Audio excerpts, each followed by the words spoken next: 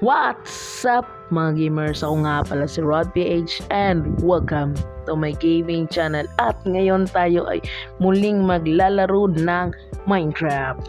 And it's been a long time. Nung huli tayo naglaro ng Minecraft at tayo ay magsisimula muli ng panibagong Minecraft series dahil nakurap po yung ano, Minecraft Let's Play natin Opo, nakurap po yung world nun at hindi ko na makuha ulit. Nung na-update ako ng 1.18.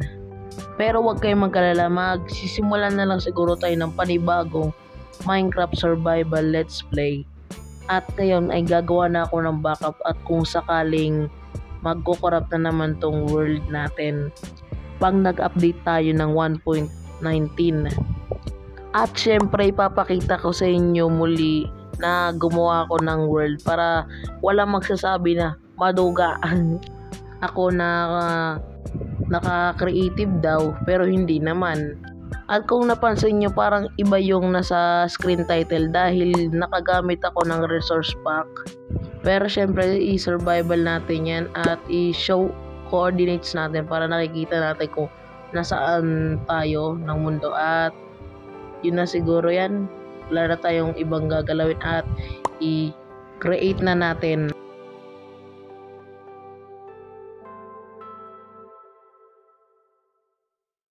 At ayan na tayo ngayon ay nag-i-start na at tagal mag-loading at o nga pala mga gamers, inon ko nga pala yung bonus chest para may counting gamit na tayo. At syempre kukunin natin yung laman nito at tingnan natin kung ano yung mga makukuha natin.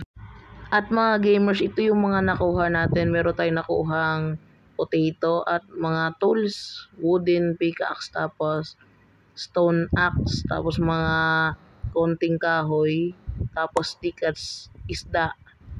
At okay na rin yon Para makapagsimula tayo, syempre gagawa muna tayo ng mga stone tools at punta tayo dun sa mga bato na yon. At gagkukuha tayo ng mga cobblestone at gagawa, gagawa tayo ng pickaxe, axe, ta tapos sword. Tapos furnace na rin para sa pagkain. Ayun na, sakto na siguro to at gawa na tayo ng crafting table. Yan, tapos lagay natin dito. So, pack, yan. Tapos gawa na, na tayo ng, bakit naglalag ba yan? Gawa na tayo ng sword. Yan, ng pickaxe din. Tapos, axe. Yan, meron, ay, meron na pala tayong axe. Yung kanina, yung galing sa chest. Tapos, siguro gawin na rin tayo ng furnace. Yan. Furnace.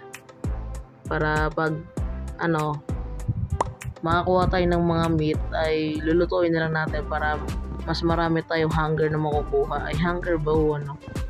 Ewan ko kung tawag yan pag nadadagdagan. At magkagalagala muna ako para makapaghanap tayo ng magandang pagpwestohan natin ng bahay. At doon na tayo magbe-base mismo. Doon na natin tatayo yung bahay. Tapos, tatayo tayo siguro ng mga ng mina, malapit doon ng minahan at yan ang mga gamers, nakahanap na tayo ng pagpupwesto ng ating magiging base at maghahanap muna tayo ng ship at gagawa tayo ng bed bago pa may mag-spawn na maps dito at patayin tayo dahil nasa 500 blocks away tayo mula sa spawn. At ayoko na mamamatay dahil layo pa na pupuntahan natin at baka mag-despawn yung mga items natin ilagay muna natin to dito. At yan maghanap tayo ng ship. At yan ang mga gamers meron na tayong apat na wool at dapat tatlo lang para makagawa tayo ng bed. Pero okay na yun. At least magkaka magkakaroon na tayo ng bed. At yan i-craft na natin. Yan ito.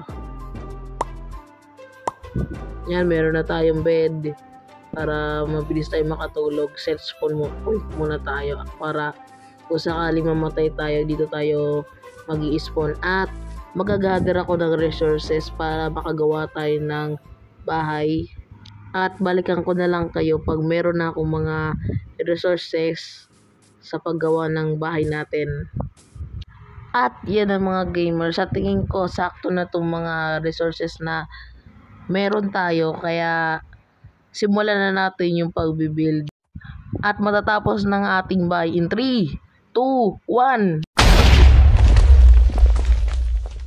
At yan na mga gamers ay tapos ng ating bahay at itutur ko kayo sa loob. Yan. At naglalag tayo ng sobra. Yan. Simple lang siya sa loob at yan. Nandito yung bed natin sa loob at meron tong attic at doon natin dinalagay yung mga storage. Ay gagawin natin yung storage room at hindi ako makakyat yan. Ito yung attic grabe lag talaga. Ayan ito yung attic at gagawin natin tong storage room. Yan at nagmina pala ako ng iron habang nagagather tayo ng resources at nagpalit tayo ng skin hindi na siya katulad nung kanina na kinuha ko lang siya sa addon. Ito, gawa ko talaga tong skin na to.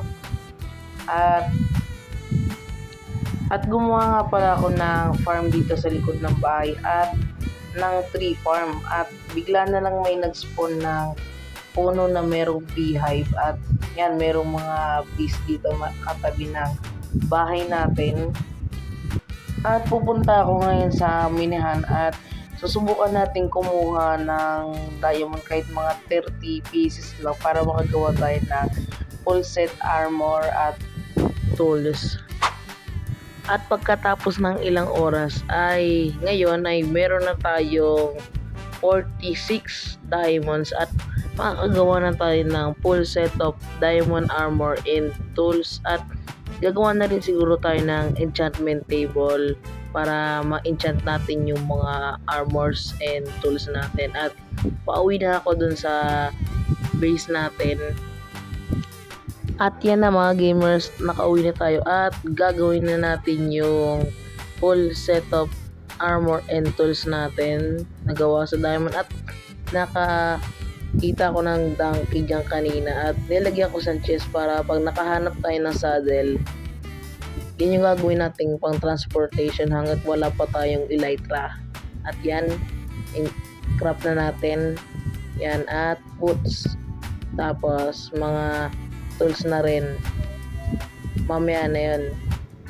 Itago muna natin tong armor dito sa chest. At subukan natin suotin muna. Yan. Yung leggings at yung boots. Yan, full set armor na tayo. At gagawin ko na lang yung tools. At doon na siguro tayo nagtatapos. Maraming salamat sa panonood. Please consider subscribe and like. And click nyo na rin yung notification bell para updated kayo sa aking mga future videos. Yun lang. Paalam!